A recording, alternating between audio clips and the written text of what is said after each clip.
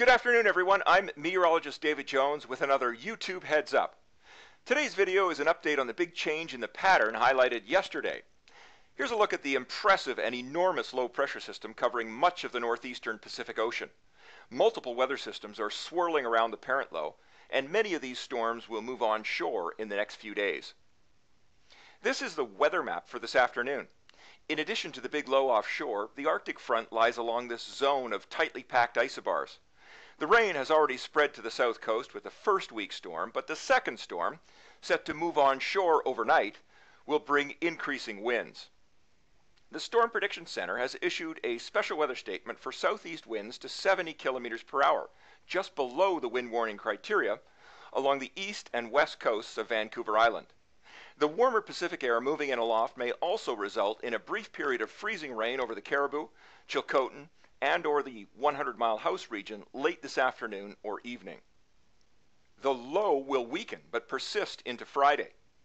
Moisture from the Pacific storms will overrun the Arctic air, producing good snowfalls across the central interior. A trough of low pressure will linger back over the southeast corner of the province, ensuring that precipitation will be frequent. Snowfall warnings have been issued for the Peace and Williston regions and may be extended to the McGregor region in orange. And in fact, the low and trough will persist right through the weekend, so the high alpine snowpacks will be much deeper by next week.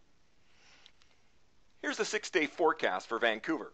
The freezing level will drop to about 1,500 meters behind the next two systems, and by Sunday it will be hovering near 1,000 meters.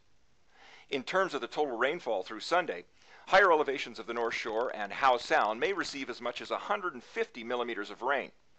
Note that when the freezing level drops to 1,000 meters Sunday, the precipitation eases.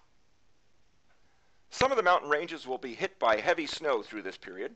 Here's the forecast for Creston in the Kootenays. The freezing level, now falling, will gradually rise to 2,000 meters. So at the Paulson Summit and Kootenay Pass, the snow will likely turn to rain briefly on Saturday.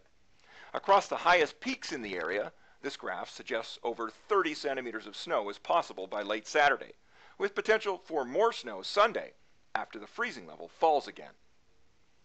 Looking at the big picture, here's a look at the forecast of total accumulated snow from right now through Friday afternoon.